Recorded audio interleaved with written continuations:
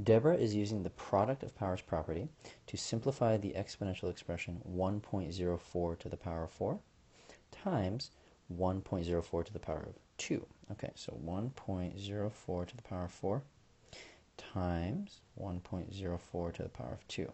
It says the exponent in the simplified version of the expression would be blank. So we need to fill in the blank. They don't want the whole simplified expression multiplied or anything. They actually just want to know what the exponent would be in the simplified version. Well, if you know the product of powers property, it basically says that when you multiply two exponents that have the same base, you actually can just add the exponents. And let me show you why. 1.04 to the power of 4 is basically 4 of these being multiplied together here times 1.04, okay? And then the second set, 1.04 squared, adds two more. And they're all being multiplied together.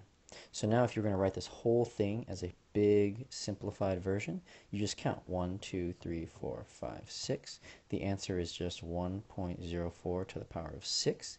And the answer they want in this question is, what's the exponent? Well, that's just the 6.